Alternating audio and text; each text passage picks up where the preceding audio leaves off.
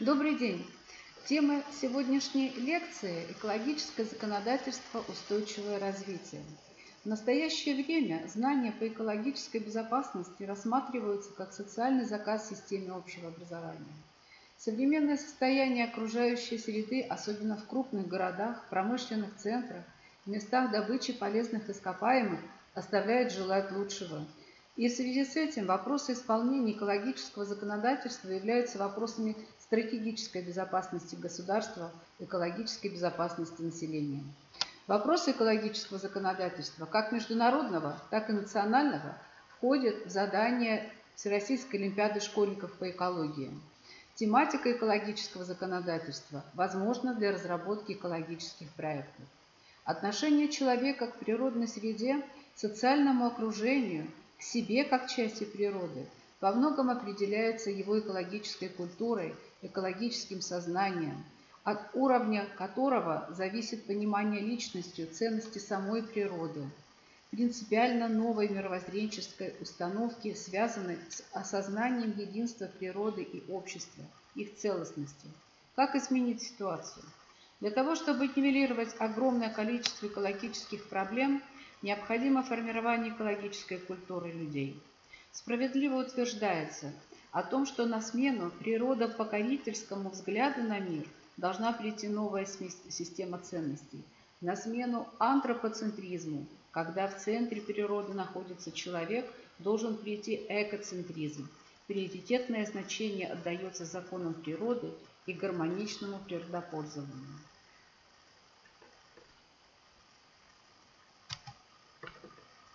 В рациональном использовании природных ресурсов заинтересовано все мировое сообщество, так как охрана окружающей среды усилиями отдельных государств не только малоэффективна, более того, она практически бесполезна. Законодательство об охране окружающей среды в рамках международных отношений в последние годы развивается весьма интенсивно, распространяясь на все больший круг объектов правового регулирования. Поэтому реализация права человека на жизнь, простого и естественного, в наши дни уже невозможна без международного решения экологических проблем. Такое понятие, как окружающая среда, охватывает широкий круг элементов, которые связаны с условиями существования человека.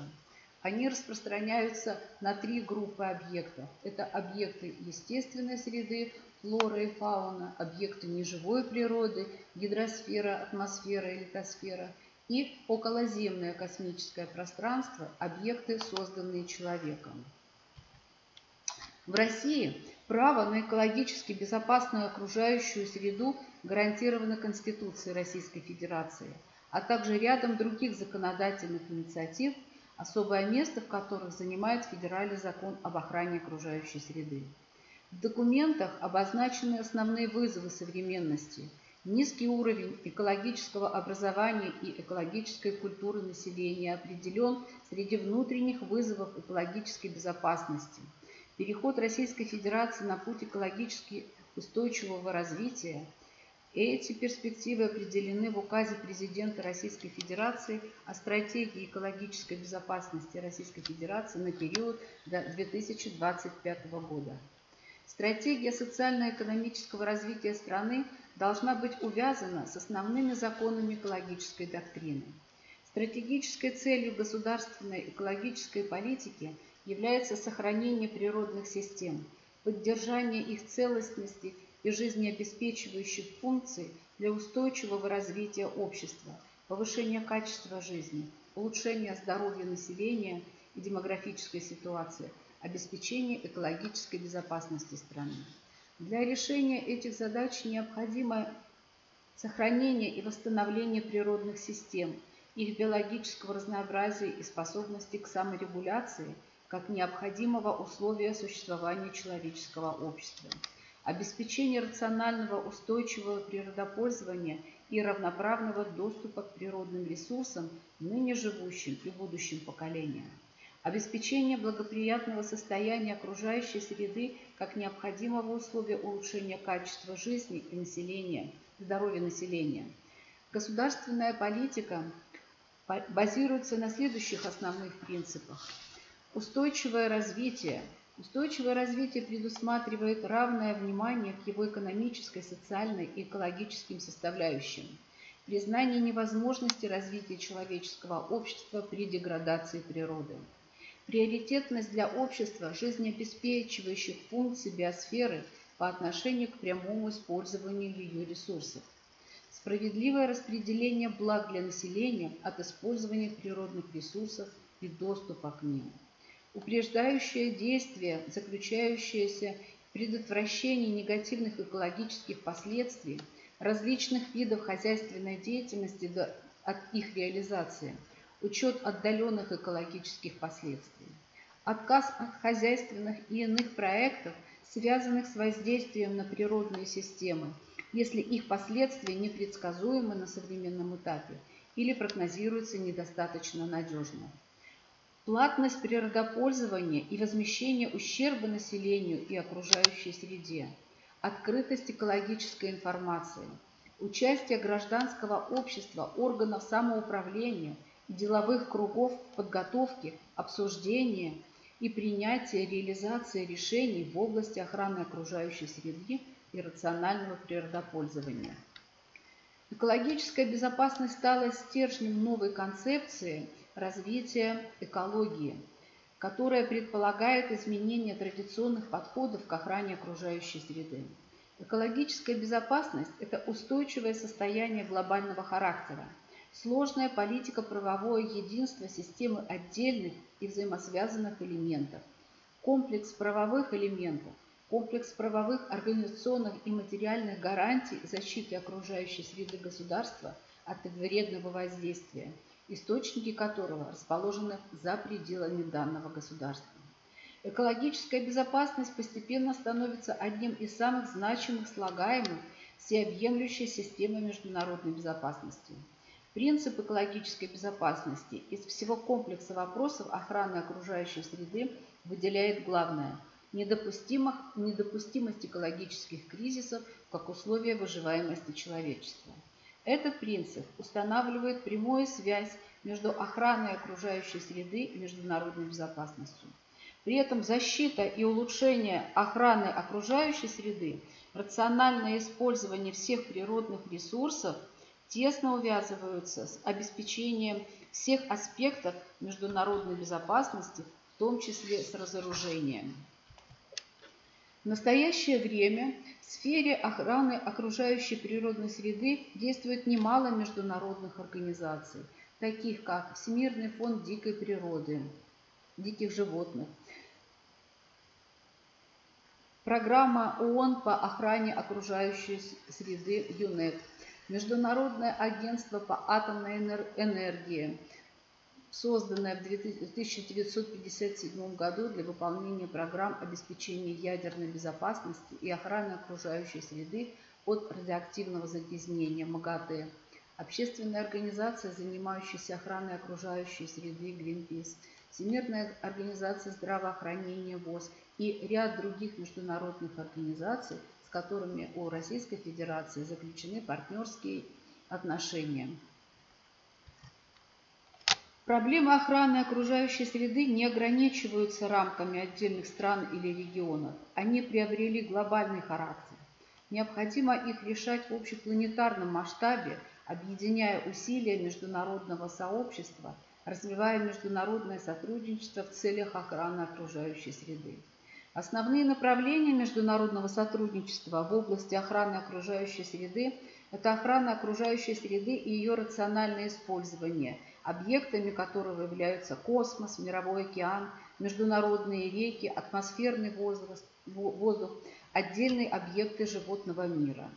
Если обратиться к истории европейского экологического законодательства, то первой попыткой эколого-правового регулирования считается запрещение королем Эдуардом I в 1306 году применения каменного угля в открытых кострах в Лондоне.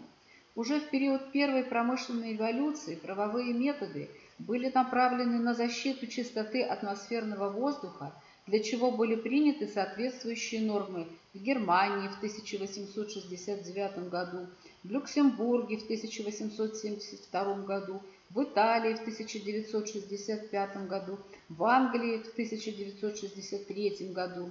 Первые законодательные акты были направлены на защиту отдельных компонентов природной среды.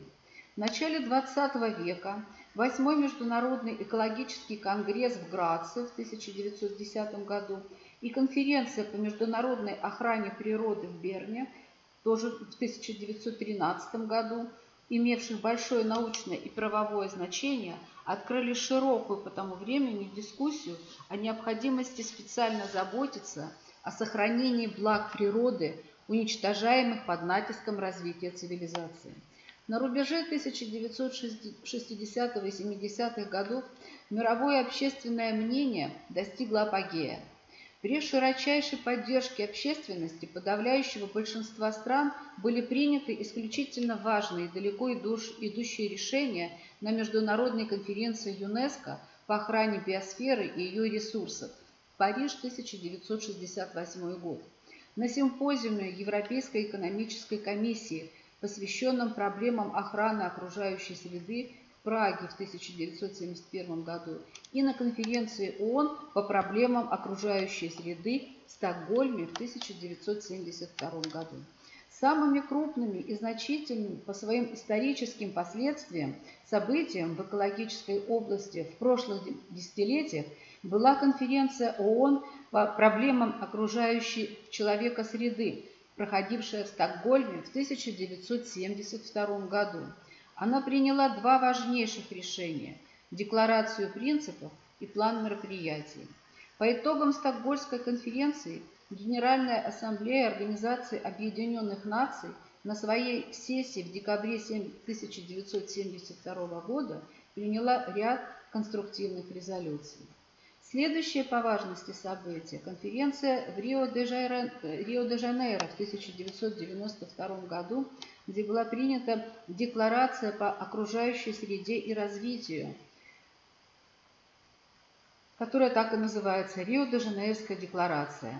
Далее, Киотский протокол – это международное соглашение, заключенное с целью сокращения выбросов парниковых газов в атмосферу Земли – для противодействия глобальному потеплению. Киотский протокол был принят в 1997 году.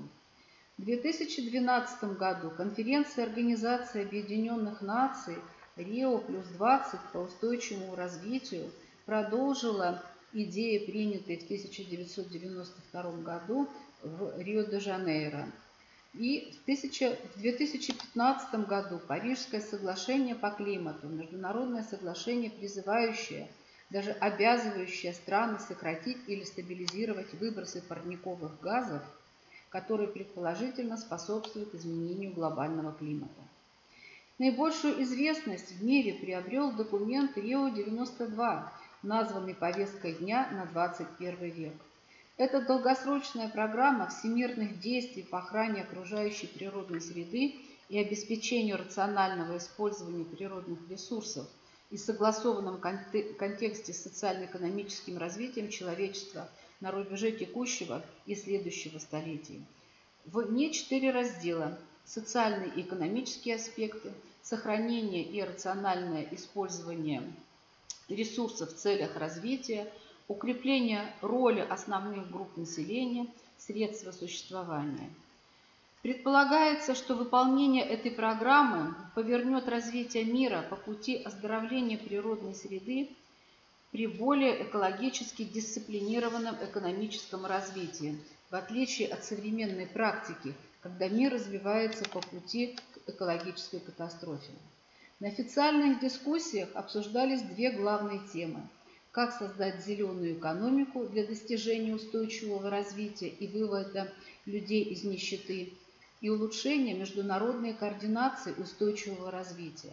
Была разработана концепция того, как можно сократить бедность, содействовать развитию социальной справедливости и обеспечить надлежащие меры по охране окружающей среды с учетом поступательных темпов роста численности населения планеты.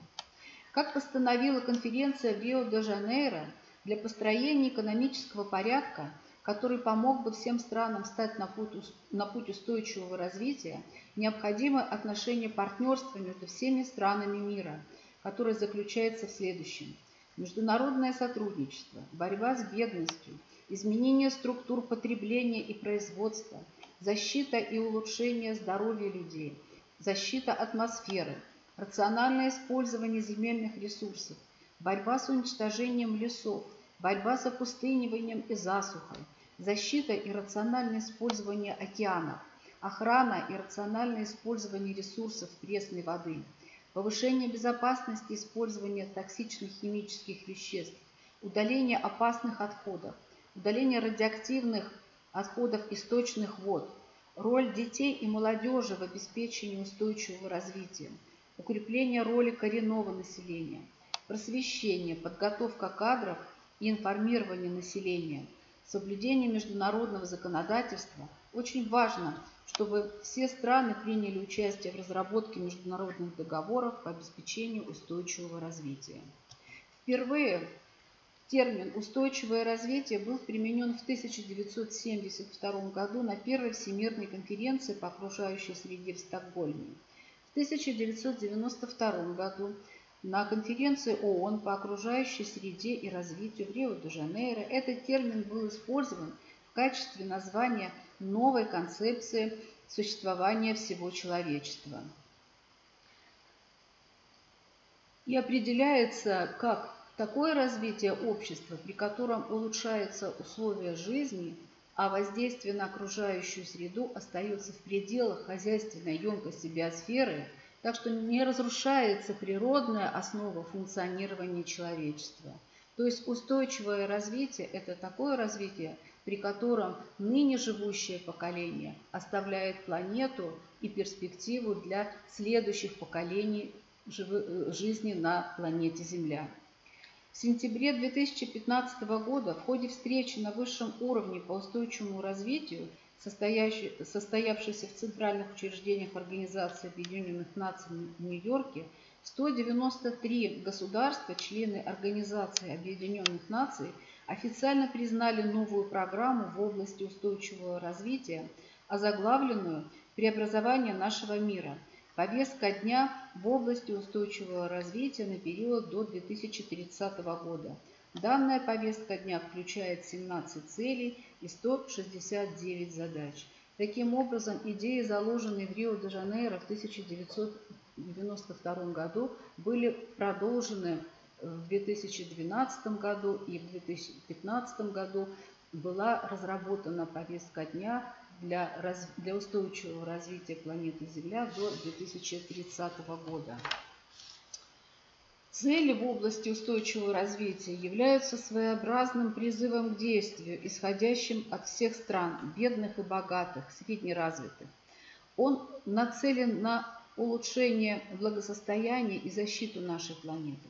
Государства признают, что меры по ликвидации бедности должны приниматься параллельно усилиям по наращиванию экономического роста и решению целого ряда вопросов в области образования, здравоохранения, социальной защиты и трудоустройства, а также борьбе с изменениями климата и защите окружающей среды. Концепция устойчивого развития появилась в результате объединения трех основных точек зрения – экономической, социальной и экологической. Экономическая составляющая подразумевает оптимальное использование ограниченных ресурсов и использование экологичных, природа, энерго и материалосберегающих технологий, включая добычу и переработку сырья, создание экологически приемлемой продукции, минимизацию, переработку и уничтожение отходов. При сжигании углеводородного топлива происходит выброс в атмосферу парниковых газов, которые вызывают изменение климата и оказывают негативное воздействие на окружающую среду. При отсутствии стабильного энергоснабжения страны не могут подпитывать свою экономику. Например, цель – недорогостоящая и чистая энергия. Предприятия могут поддерживать и охранять экосистемы в целях использования и дальнейшего развития гидроэнергетики и биоэнергетики. Для сокращения уровня выброса углеродов можно также использовать, пользоваться велосипедом, общественным транспортом или ходить пешком. Так записано в целях на ближайшее развитие планеты. Внесение небольших изменений в повседневную жизнь, например, использование общественного транспорта и выключение питания у электроприборов позволяет сэкономить электроэнергию. Необходимо сократить использование пластмассовых продуктов до минимально возможного уровня и организовать уборку береговых зон, а также огромное количество пластика, которое выбрасывается в мировой океан, затем превращается в микропластик и э, по цепи питания, превращаясь в, накапливаясь в э, тканях и органах животных, попадает в организм человека и таким образом наносит ему, его здоровью большой вред. Социальная составляющая. Социальная составляющая устойчивости развития ориентирована на человека и направлена на сохранение стабильности социальных и культурных систем, в том числе на сокращение разрушительных конфликтов между людьми. Важным аспектом этого подхода является справедливое разделение благ. Желательно также сохранение культурного капитала и многообразие в глобальных масштабах, а также более полное использование практики устойчивого развития, имеющейся вне доминирующих культурах. Для достижения устойчивого, устойчивого развития современному обществу придется создать более эффективную систему принятия решений, учитывающую исторический опыт и поощряющую свободу мнений.